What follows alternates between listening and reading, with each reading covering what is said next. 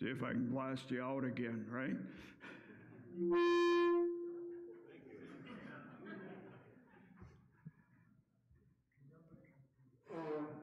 Welcome to church on Easter Sunday. It is a glorious and joyous celebration that we have. For those watching on the air, I'm chaplain, retired chaplain Lyle Hockstill and a member of Hope here. The announcements were on the screen. One announcement is our condolences to Brenda Peterson as her brother John Hegsted passed away this last week. So please remember her and the family in our prayers, okay? Anything else for announcements? Okay, with nothing, let's go to the call of worship.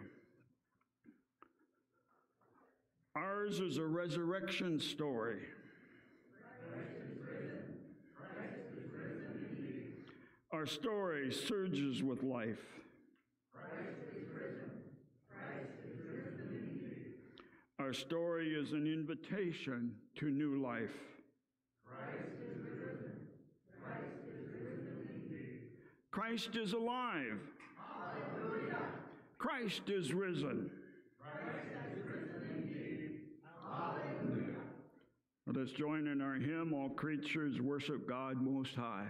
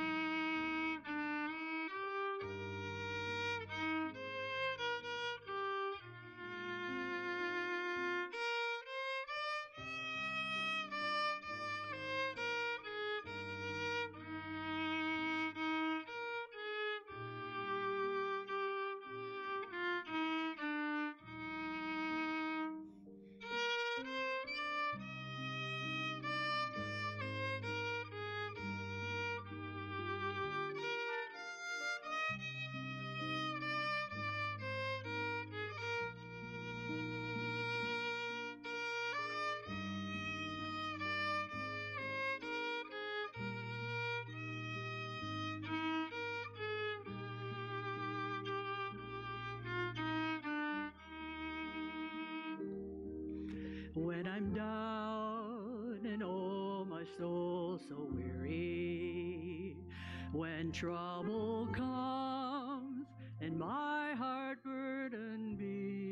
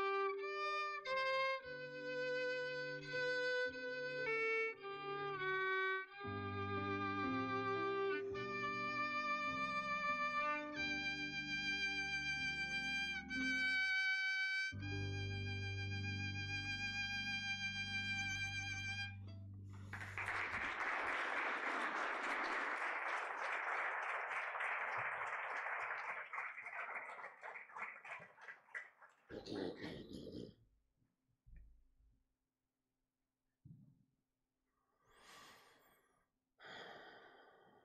Our Old Testament scripture for today, Easter morning, comes from the great prophet Isaiah, chapter 25. Isaiah writes, On this, the mountain of the Lord of hosts will make for all peoples a feast of rich food, a feast of well aged wines, of rich food filled with marrow of well aged wines strained clear. And he will destroy on this mountain the shroud that is cast over all peoples, the sheet that is spread over all nations. He will swallow up death forever. Then the Lord God will wipe away the tears from all faces and the disgrace of his people. He will take away from all the earth, for the Lord has spoken. It will be said on that day, Lo, this is our God. We have waited for him so that he might save us. This is the Lord for whom we have waited. Let us be glad and rejoice in his salvation. Our epistle for today comes from Paul's letter to the Corinthians, chapter 15. Paul writes, Now I would remind you, brothers and sisters, of the good news that I proclaimed to you, which you in turn received, in which also you stand, through which also you are being saved, if you hold firmly to the message that I proclaimed to you, unless you have come to believe in vain. For I handed on to you as of first importance what I in turn had received that Christ died for our sins in according with the Scripture, and that he was buried, and that he was raised on the third day in accordance with the Scriptures, and that he appeared to Cephas, then to the twelve. Then Jesus appeared to more than 500 brothers and sisters at one time, most of whom are still alive, though some have died. Then he appeared to James, then to all of the apostles. Last of all, as to one untimely born, Jesus also appeared to me. For I am the least of the apostles, unfit to be called an apostle, because I persecuted the church of God. But by the grace of God, I am what I am, and his grace toward me has not been in vain. On the contrary, I worked harder than any of them, though it was not I, but the grace of God that is in me. Whether then it was I or they, so we proclaim, and so you have come to believe the word of the Lord.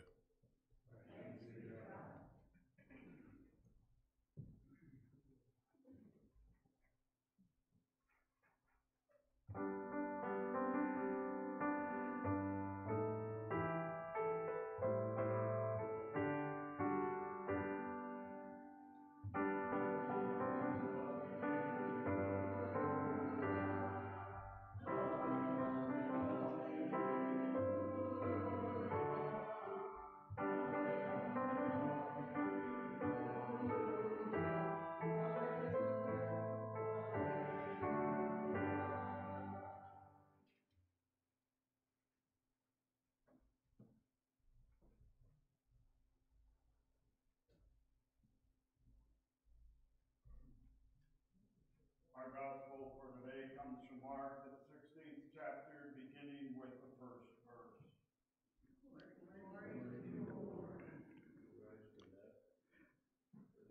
When the Sabbath was over, Mary Magdalene and Mary, the mother of Jesus, and Salome bought spices so that they might go and anoint Jesus' body. And very early on the first day of the week, when the sun had risen, they went to the tomb. They had been saying to one another, Who will roll away, roll away the stone for us from the entrance to the tomb? When they looked up, they saw that the stone, which was very large, had already been rolled back. As they entered the tomb, they saw a young man dressed in a white robe sitting on the right side, and they were alarmed. But he said to them, Do not be alarmed. You are looking for Jesus of Nazareth who was crucified. He has been raised. He is not here. Look, there is the place they laid him. But go, tell his disciples and Peter that he is going ahead of you to Galilee. There you will see him just as he told you.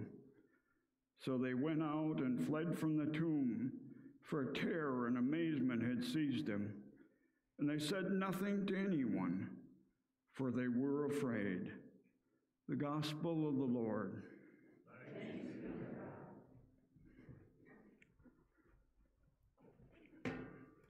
May be seated.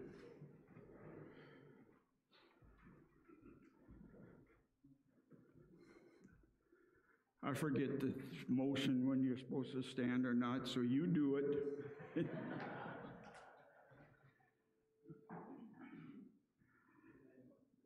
I certainly understand the emotions of the women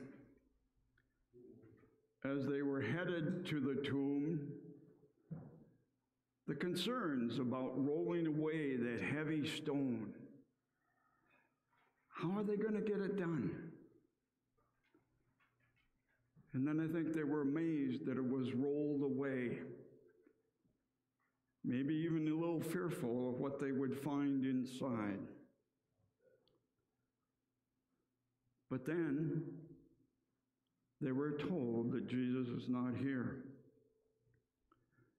They were amazed, it says, because they did not put all of the sayings to Jesus together to remember that he said, in three days he would rise again. I think we also wonder about the resurrection, it's reverberating up here. It's not just the impact on our hope and our fu- and faith for the future, but it's, it's a part of us in our daily lives to participate in the resurrection. That's how we find out what it means to us, a little bit about what it will look like. And so I thought of words that we use that relate to resurrection in our daily lives. Rejuvenate is a word we use, and if you see me stumbling a little bit up here, it's because my eyes are rejuvenating and I don't see through my glasses as well. Some days it gets a little tough. But we rejuvenate the earth, we restore it. We re- rejuvenate friendships and marriages by taking care of conflicts and problems that may come up and disputes between us. We restore things to what they were. Farmland gets restored in our life. Houses. How many people buy a house and totally restore it back to what it looked like in the beginning? Furniture. It's fun to scrape the paint off and see the grain of the wood underneath, the color of it. Many of you in this congregation and in the community have, have restored cars, made them look brand new. We replenish. We replenish the earth. We replenish the soil for, for farmland and in putting fertilizer on it and rotating crops so they don't, don't deplete it of all its nourishment. Those of you who have fireplaces, you replenish the wood in the house to keep on burning. And all of us, well, maybe not all of us, but a lot of us go grocery shopping because we need to replenish the shelves and the refrigerator and the freezers in our home. Think of renewal. Looking outside and seeing the snow coming right now, it's not so much like renewal for us. But spring. Spring comes and it renews our spirits and lifts us up. We renew friendships from days long past. We renew a living room or a dining room or a kitchen by painting cleaning it up, making it look new. How much of our life is built on renewing through touch ups? A scratch in the paint or something, there's a crack that happens and we touch it up. I think of refreshing. The bathroom we often have to refresh with spray. But we refresh a room. We refresh our yards, our flower beds, to make them different, but also to grow better. And then there is the regrowth of spring. The grass greens up and grows, and then we've got a mole. But the trees get buds and leaves and flowers for those that produce fruit. And living on the farm, you would look out and see the pasture renewed, regrowth. It meant no longer had to throw out the hay bales or haul in a big round bale for the cattle. I also think of rebuilding, how much we do of that in our lives. When we look at the news and see the destruction that comes from a tornado or high winds, and the things that need to be rebuilt. I already mentioned you rebuild automobiles. But we can rebuild toys so that they're usable again and they can be played with. Some toys are more expensive than others, is all. You know, we resolve. A part of the, the resurrection is resolving conflicts in friendships that happen, in frauds and scams that may come into our lives twice in the last two months. But we need to resolve the things that go on. We need to resolve problems with electricity and plumbing in our homes. Sometimes it's calling in an expert because doing it myself doesn't work very well. And one of the last ones I thought of was resuscitation, reviving people that have collapsed. For me, that's a conflict. I'm not putting it on you, but I just want you to know that, that it's a conflict to be brought back to life and face whatever diseases or, or anything that's going on whereas in death is the resurrection. So it becomes a real interesting story. I have a DNR DNI and have had it for years. And I had one person tell me, I don't care. I'm going to revive you. I hope I'm not around that person. okay? But today, today we celebrate Christ's resurrection and the impact on our life.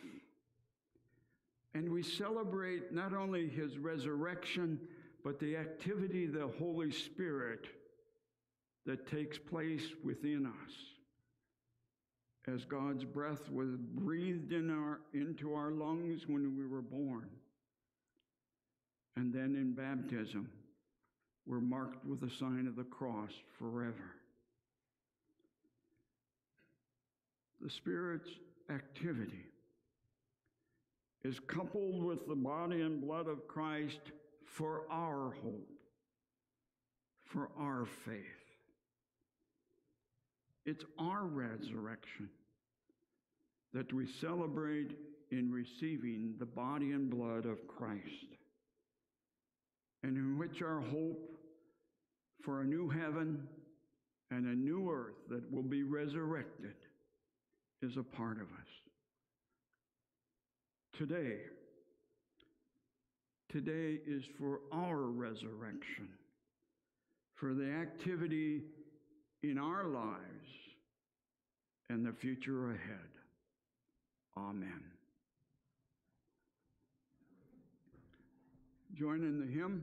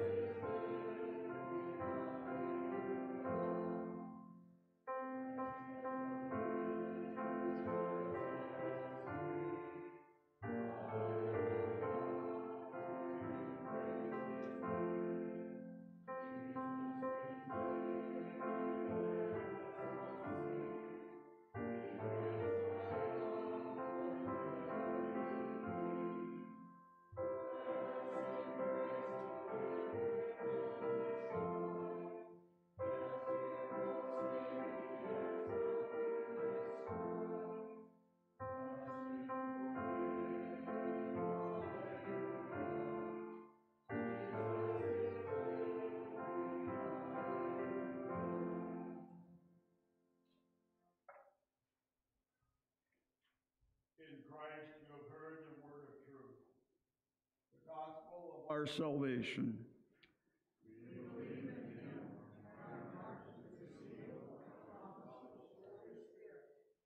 Living together in trust and hope, we confess our faith. I believe in God the Father Almighty, creator of heaven and earth.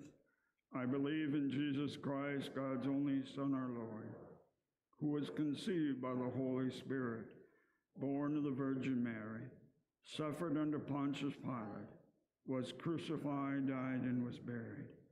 He descended to the dead. On the third day, he rose again. He ascended into heaven.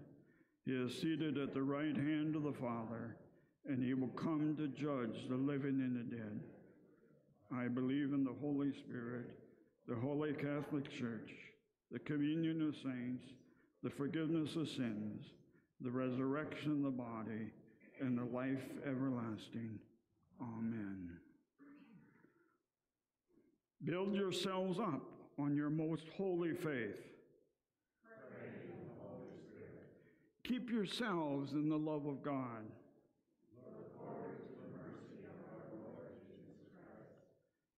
If anyone is in Christ, there is a new creation.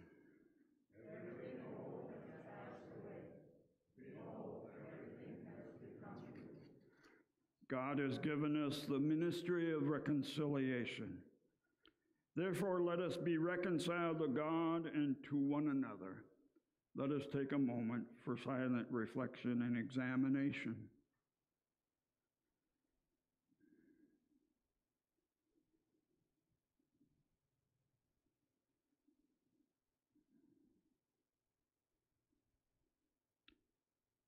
Gracious God, have mercy on us. In your compassion, forgive us our sins, known and unknown, things done and left undone.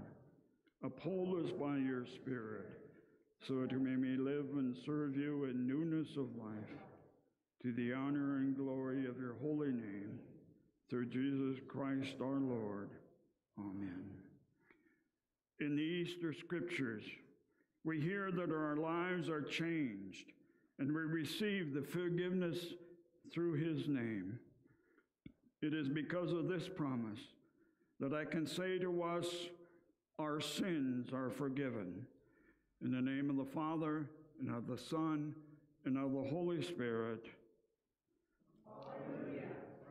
Is he is risen indeed. Alleluia. The peace of the risen Christ be with you always. Let us share the peace with one another.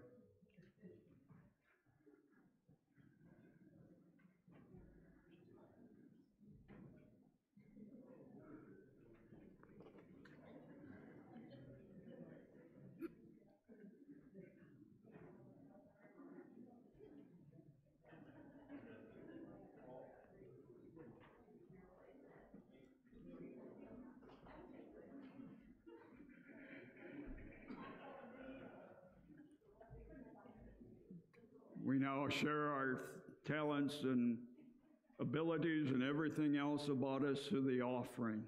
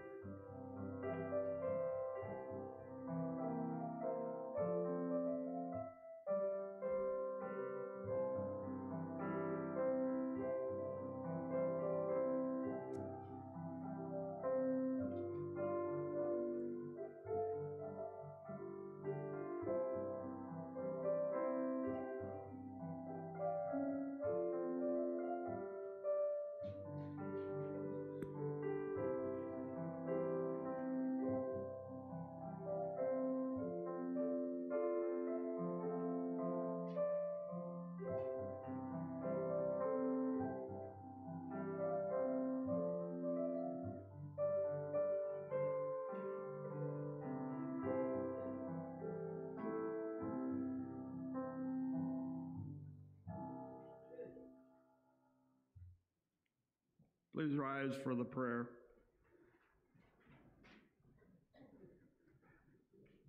Come, Lord Jesus, be our guest, and let these gifts to us be blessed. Blessed be God who is our bread. May all these gifts be fed. Amen.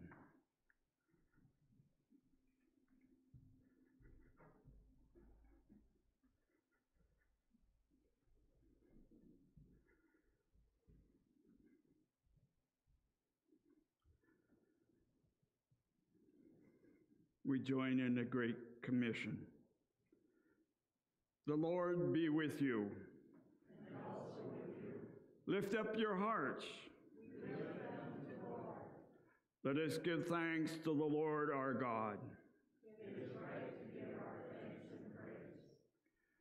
In the night in which he was betrayed, our Lord Jesus Christ took bread and gave thanks.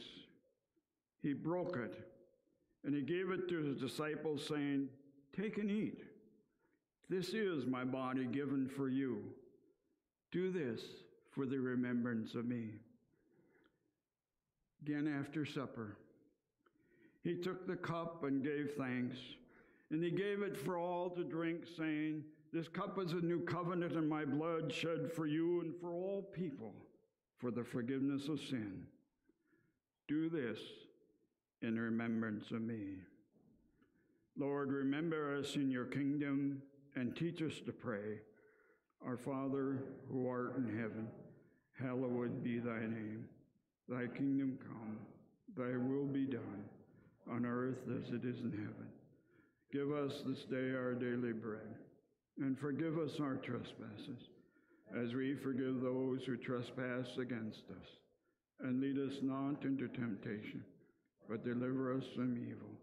For thine is the kingdom, and the power, and the glory, forever and ever. Amen. Come to the banquet, for all is now ready. If anyone wants gluten free bread, just let me know, raise your index finger or whatever.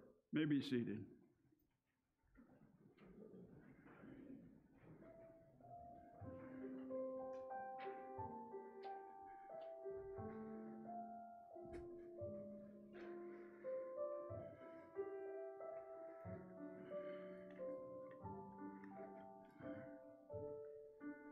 Gifts of God given for you.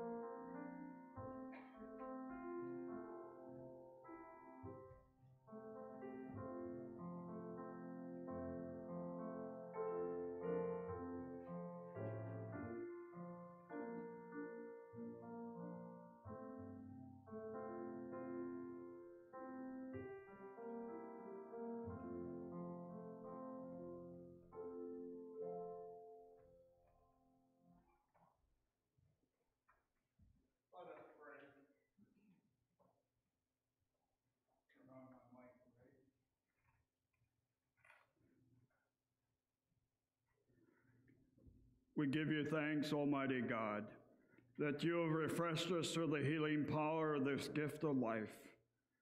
In your mercy, strengthen us through this gift in faith toward you and in fervent love toward one another. For the sake of Jesus Christ our Lord. Amen.